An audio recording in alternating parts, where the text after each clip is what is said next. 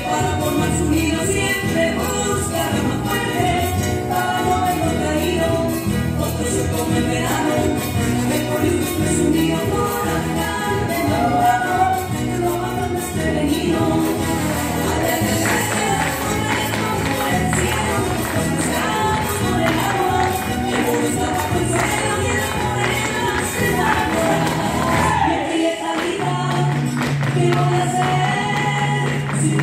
vidas, este